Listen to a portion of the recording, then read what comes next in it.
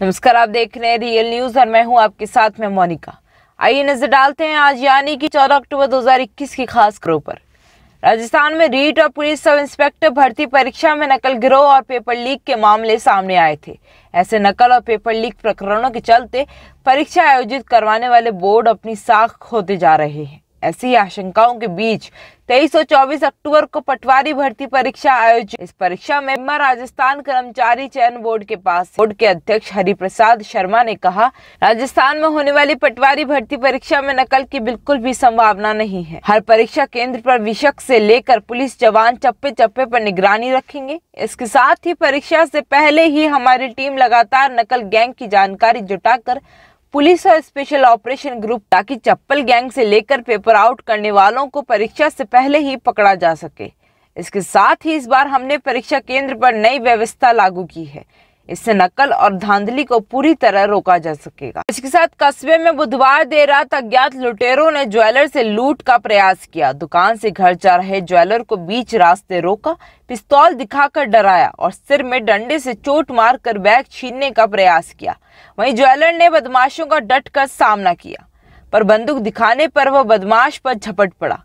इसी छीना झपटी में से एक बदमाश नीचे गिर पड़ा और उसके साथियों ने ज्वेलर पर डंडे से हमला कर दी। वहीं बदमाशों ने ज्वेलर की स्कूटी पर टंगा बैग छीनने की कोशिश की, लेकिन जब सफलता नहीं मिली तो घबरा कर भाग गए। और इसके साथ राजस्थान में चौतीस महीनों में ही साठवीं बार आईएएस के तबादले हुए हैं। वही आईपीएस के ट्रांसफ़र की लिस्ट उनतालीसवीं बार जारी की गई है। इस बार भी विवादों में घिरे आईएएस, आईपीएस निशाने पर रहे। बताने बुधवार रात 12 बजे 18 आईएएस और उनतालीस आईपीएस अफसरों के तबादले कर दिए गए। इनमें घूसकांड में फंसे आईएएस नीरज के पवन व प्रदीप गावडे को हटा दिया गया है, जबकि माध्यमिक शिक्षा निदेशक रहे सौरभ स्वामी को शिक्षकों के दीपावली अवकाश पर रोक लगाने का आदेश करना भारी पड़ गया। 24 घंटे में ही उन्हें आदेश वापस करना पड़ा। साथ ही सरकार ने उन्हें माध्यमिक शिक्षा निदेशक के पद से भी रवाना कर दिया। वहीं पिछले दिनों प्रतिनियुक्ति से वापस आए भानु प्रकाश एटूरू को सरकार ने सचिव श्रम, कौशल एवं उद्यमिता कारखाना एवं बॉयलर निरीक्षक अध्यक्ष आईएसएलडीसी के पद पर लगाया है। जबकि एसीबी केस में फंसे सचिव श्रम, रोज़गार एवं कौशल नीरज के पवन को आयुक्त उपनिवेशन विभाग बीकानेर के पद पर लगाया गया है। इसी केस में फंसे MD RSL DC Pradeep Gamde को निदेशक पुरातत्व एवं संग्रहालय विभाग में तैनात किया गया है। वहीं आरएएस इंटरव्यू के दौरान विवादों में आए आरपीएससी के सचिव शुभम चौधरी को भी हटाकर आईएएस कुमार पाल गौतम को सचिव के पद पर लगाया गया है। और इसके साथ भरतपुर, अलवर और धौलपुर में डेंगू, मलेरिया व डिप्थीरिया के कारण कुल चार लोगों की मौत हो गई। वहीं सैकड़ों लोग बीमार हैं। जानकारी के मुताबिक भरतपुर ज़िले के थाना सेवर के गुंडवा गाँव में बुखार की वजह से दो सगे दो दिन में सगे भाई, बहन, हर्ष और प्रियंका की मौत हो गई। और एक बड़ा भाई अब भी भरतपुर के निजी अस्पताल में भर्ती है।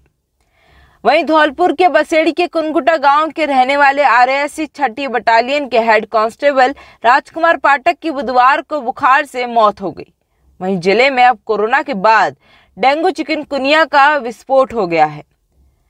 बता दें, पिछले करीब एक माह के दौरान तीन सौ अट्ठानवे डेंगू के रोगी मिल चुके हैं। अलवर में अब डिप्थीरिया फैल रहा है। वहीं राजीव गांधी सामान्य चिकित्सालय का आइसोलेशन वार्ड में चार दिन में चार बच्चे भर्ती हुए और इनमें एक की मौत हो गई है। और इसी के साथ विधानसभा उपचुनावों में बुधवार को नामांकन वापसी का अंतिम दिन था। इसके बाद अब वल्लभ नगर और धरियावाद में चुनाव लड़ने वाले प्रत्याशियों की स्थिति साफ़ हो गई है। वल्लभ नगर में कांग्रेस की प्रीति शक्तावक्त भाजपा के हिम्मत सिंह झाला, आरएलपी के उदयालाल डांगी और जनता सेना से दीपेंद्र कंवर सहित नौ प्रत्याशी मैदान में हैं।